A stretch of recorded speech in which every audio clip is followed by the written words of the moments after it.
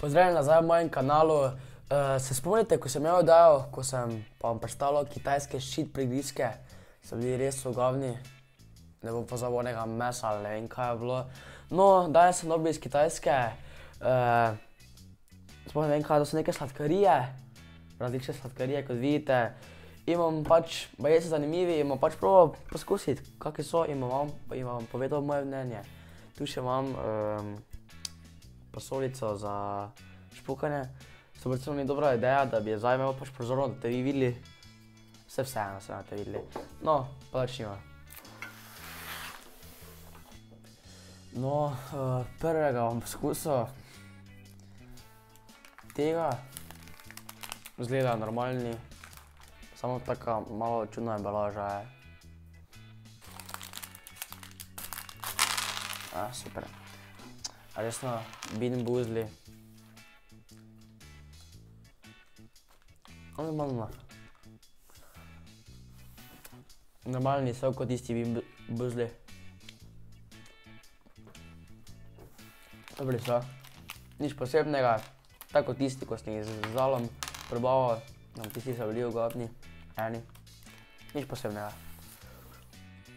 No, naslednji bo ti štirje. Mislim, da različne barve so.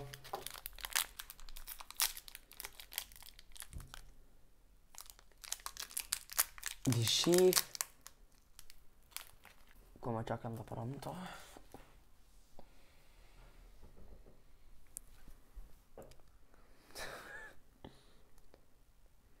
Napol je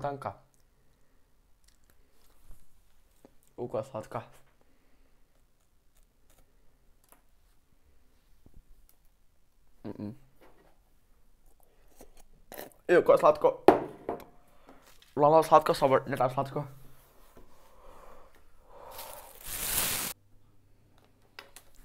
Nisem mogel brez soja, ker je bilo res sladko. Kaj si ti naredil? No, naslednjega, ko bomo probali, ta tote štiri vseh ne bomo probali, ker pač niso dobri. Najbolj strah me je pač totega, totega bomo pustili za konec, zato začnimo s tem. Z... Šajo, žaž. Ne, znam prebrati. Če zna dobro prebrati, naj napiše v komentar. Če zna dobro kitajsko.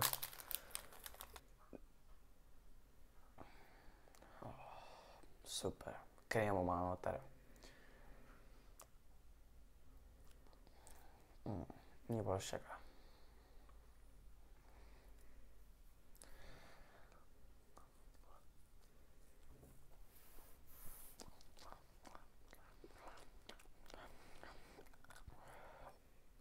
Zakaj je pikantna? Tako da zdaj malo neki zobna pasta okus.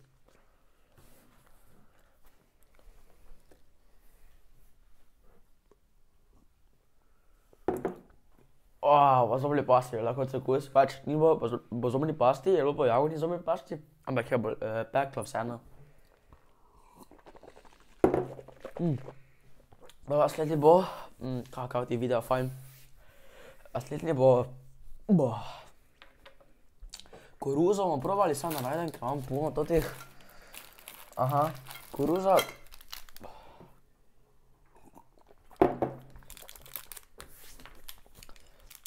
Koruza. Pač gumijasta koruza, to sto procentno ne bo nekaj hudega.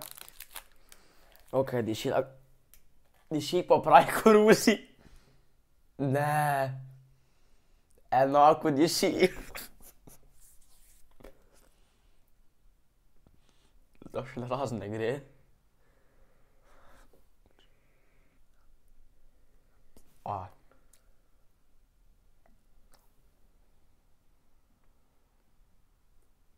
Klaviaida, kur rūzas ant vagų mesta. Mm -mm. Zdaj takšna gravžna, ampak je ogabna. Ni dobro. Zdaj pa probal, mislim, da je to nekaj najbolj normalnega poleg Bean Boozlov. Imam pa nekaj, ne vem, kaj.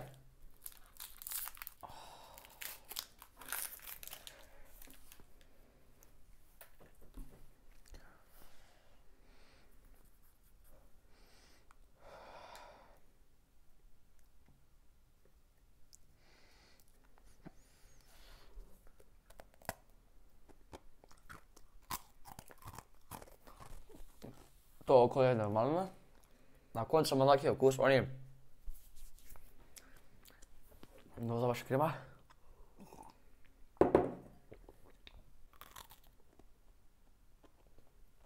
Veste, ko imate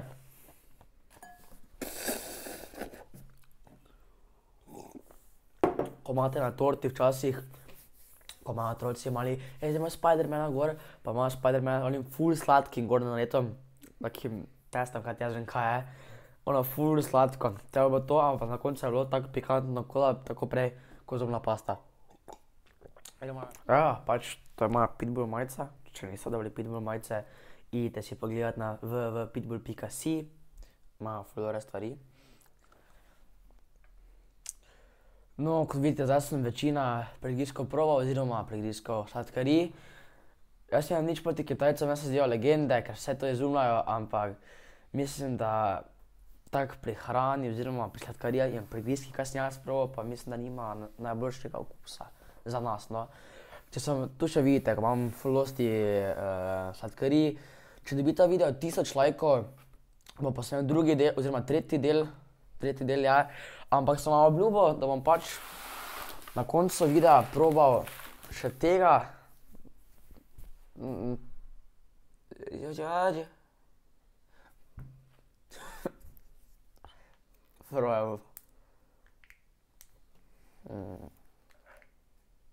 to fajn, ko se gor, Probamo kremo prvo. Ampak je spet diši tako po onem ne pikantnem, zdaj je bolj čili pikantno, ampak po zobna pasta, ko te tako malo zapeče po jeziku. Probajmo.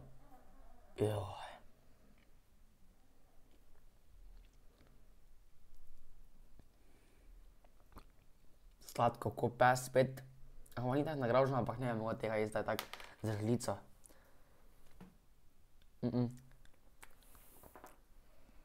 ka sladka. Kaj si ti Dobro, še to?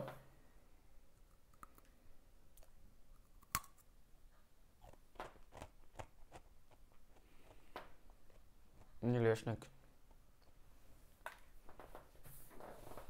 Super. Dobro je, ja.